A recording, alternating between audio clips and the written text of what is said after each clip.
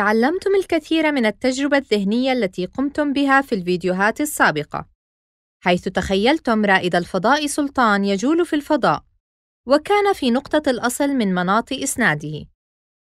وعندما كان الزمن t يساوي صفر في مناط إسناده، مرت به مركبة رائدة الفضاء منار، وكانت تتحرك بسرعة متجهة مقدارها v فوق المحور الأفقي الموجب. كان التركيز على المحور الأفقي فقط لتبسيط الأمور، وبدأتم بالتفكير في تغير الموقع مع الزمن في مناط إسناد سلطان بالنسبة إلى مناط إسناد منار. وكانت صعوبة الأمر في إيجاد طريقة لجعل سرعة الضوء مطلقة في جميع الأطر المرجعية، ولهذا استعملتم فكرة الزمان مكان أو الزمكان. قد تعتقدون عندما تسمعون هذا المصطلح أن الزمان والمكان شيئين منفصلين عن بعضهما البعض، لكن الزمكان هو عكس ذلك تماماً، فهو كتلة واحدة متصلة يكون فيها الزمن والمكان اتجاهين مختلفين، وليس شيئين مستقلين.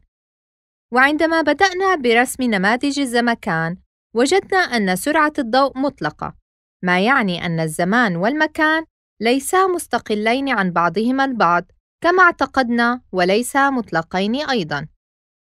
وقمنا كذلك برسم نماذج زمكان مينكوفسكي لكل مناط إسناد. هذا مناط إسناد سلطان باللون الأبيض. هذا مناط إسناد منار باللون الأزرق.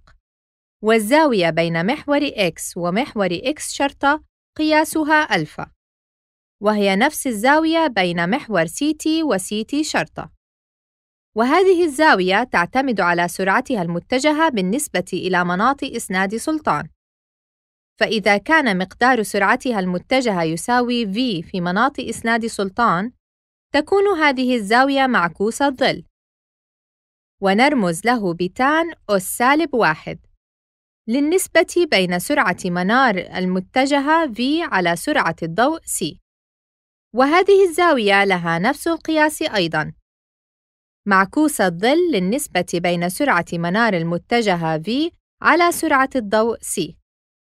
كلما زادت سرعة منار، اقترب هذان المحوران من بعضهما البعض. وإن اقتربت سرعة منار من سرعة الضوء بطريقة ما، تقترب هذه الزوايا من زاوية 45 درجة. ويتطابقان فوق بعضهما البعض في النهاية إن وصلت منار إلى سرعة الضوء. الزمكان أمر مثير للاهتمام. فكرة أن الزمن والمكان ليسا مستقلين بل جزء من كتلة متسلسلة واحدة. انظروا إلى هذا الحدث هنا في الزمكان من مناط إسناد سلطان ومن مناط إسناد منار. من مناط إسناد سلطان تكون الإحداثيات هنا. هذه النقطة تمثل الإحداثي الأفقي X، وهذه النقطة تمثل الإحداثي الرأسي CT. هذه هي إحداثيات النقطة في مناط إسناد سلطان. ولكن ما هي إحداثيات النقطة في مناط إسناد منار؟ تعلمتم سابقاً كيفية قراءة إحداثيات نماذج من كوفسكي للزمكان. حتى تجدوا الإحداثي X شرطة للنقطة تتحرك بشكل موازن لمحور CT شرطة. هذه النقطة هي إحداثي X شرطة للنقطة في مناط إسناد منار.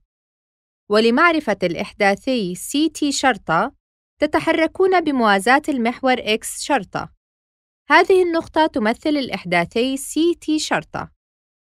كيف يمكن التحويل من X إلى X شرطة؟ أو من CT إلى CT شرطة؟ يمكنكم أن تفعلوا ذلك باستخدام ما يسمى بتحويلات لورنتز. تحويلات لورنتز هي طريقة للتحويل بين النقاط على المحاور، أي من x فاصلة ct إلى x شرطة فاصلة ct شرطة. لكي يصبح الأمر أسهل، عليكم معرفة بعض المتغيرات المتعلقة بهذه التحويلات. أولاً معامل لورنتز، ونرمز له بالحرف الإغريقي جاما. ومعامل لورنتز يساوي واحد على الجذر التربيعي لواحد ناقص v تربيع على c تربيع.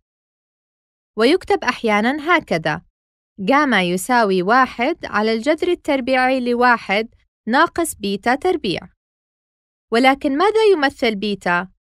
بيتا هو متغير آخر وهو يمثل النسبة بين السرعة المتجهة لجسم ما نسبة إلى إطار مرجعي وسرعة الضوء. في هذه الزاوية مثلاً يمكن التعبير عن ألفا بأنها تساوي معكوس ظل بيتا. استخدام المتغير بيتا يسهل كتابة معامل لورنتز ويجعل التحويل بين المحاور أسهل.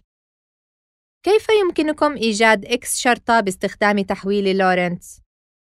x شرطة يساوي معامل لورنتز ضرب x ناقص بيتا ضرب ct أما ct شرطة فيساوي معامل لورنتز جاما ضرب ct ناقص بيتا ضرب x هذه التحويلات تظهر أن الزمن والمكان ليسا إلا اتجاهات مختلفة في الزمكان.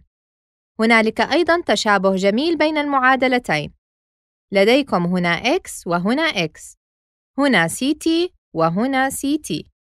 في الفيديو القادم سنقوم بتطبيق عملي باستخدام هذه التحويلات، وسترون أن الأمر ما هو إلا مسألة جبر بسيطة.